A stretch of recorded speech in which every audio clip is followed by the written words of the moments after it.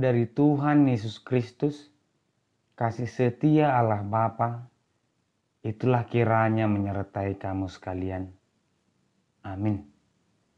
Firman Tuhan di pagi hari ini tertulis di Lukas pasal 17 ayat 6. Jawab Tuhan, kalau sekiranya kamu mempunyai iman sebesar biji sesawi saja, kamu dapat berkata kepada pohon ara ini, Terbantunlah engkau dan tertanamlah di dalam laut, dan ia akan taat kepadamu.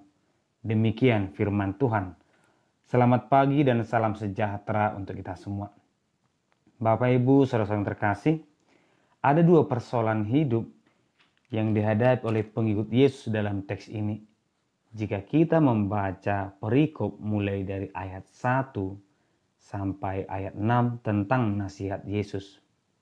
Yang pertama adalah tentang penyesatan atau mereka yang menyesatkan.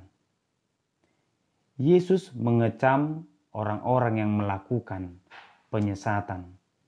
Tetapi Yesus juga berkata dalam firman Tuhan itu, tidak mungkin tidak akan ada penyesatan. Memang penyesatan akan ada. Persoalan hidup memang akan ada.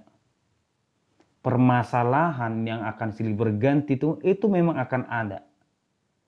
Tetapi Yesus berkata juga, celakalah orang yang mengadakan penyesatan, mengadakan permasalahan. Menghadapi persoalan hidup, pengikut Yesus sering bergumul, mengapa tidak Tuhan hilangkan saja persoalan hidup agar kita hidup lebih nyaman. Yang kedua, pengampunan.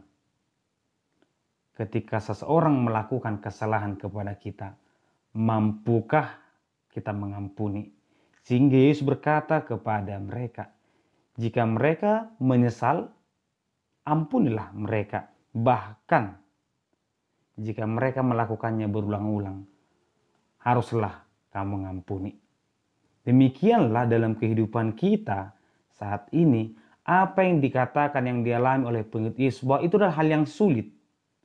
Demikian juga mungkin kita akan berkata, persoalan hidup ini mengapa tidak bisa dihilangkan saja ketika kita sudah mengikut Tuhan.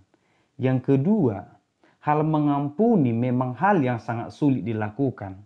Bahkan sejujurnya dalam kehidupan orang Kristen juga, dalam rumah tangga, dalam yang bersaudara, hal mengampuni ini ada yang sangat sulit dilakukan. Seakan-akan persoalan hidup, seakan-akan permasalahan antara saudara harus dibawa sampai mati. Padahal Yesus berkata, mengampunilah, bahkan tidak ada batas untuk mengampuni. Namun ketika mereka berkata itu adalah hal yang sulit, Tuhan memberikan jawaban yang mungkin membuat mereka berpikir panjang. Tuhan berkata, "Jika kamu memiliki iman sebesar biji sesawi, bahkan bisa memindahkan berbicara kepada pohon ini." Dengan kata lain, jika kita memiliki iman, bukan hanya hal mengampuni yang bisa kita lakukan, memindahkan pohon pun bisa kita lakukan. Artinya Yesus mengatakan, ini bukan tentang mampu atau tidak, tetapi jika kita memiliki iman kepada Tuhan, kita akan mampu mengampuni.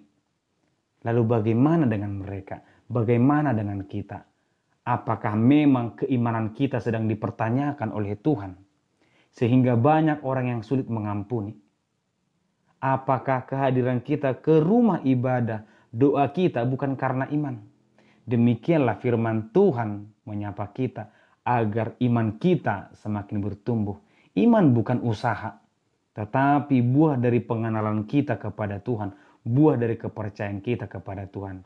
Mari kita dengarkan setiap nasihat dari Tuhan, bertumbuhlah sesuai dengan kebenaran firman Tuhan, maka pengampunan akan ada dalam diri kita. Amin. Tuhan memberkati. Terima kasih Tuhan, firman-Mu di pagi hari ini mengingatkan kami tentang pengampunan, tentang kekuatan kami Tuhan menjalani setiap persoalan. Biarlah kiranya Tuhan kekuatan kami berasal daripadamu, yaitu iman yang benar. Berkati kami selalu Tuhan. Di dalam nama anak Yesus Kristus kami berdoa. Amin.